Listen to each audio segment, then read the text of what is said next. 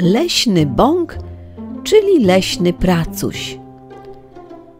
W lesie koło mogiły powstańców styczniowych z 1863 roku spotkaliśmy niesamowitego jegomościa. Był tak zaabsorbowany zbieraniem pyłku kwiatowego, że w ogóle nie interesowało go nasze towarzystwo. Wyraźnie nas ignorował. Przemieszczał się z kwiatka na kwiatek lotem błyskawicy.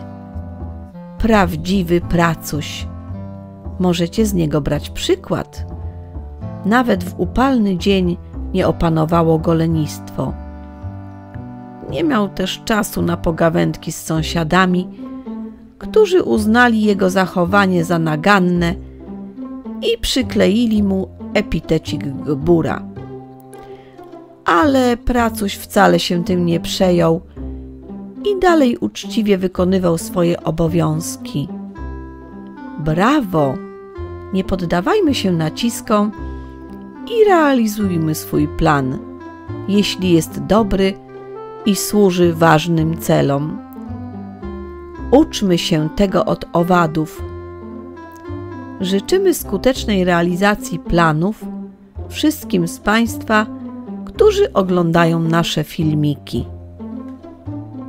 Do zobaczenia w następnych odcinkach.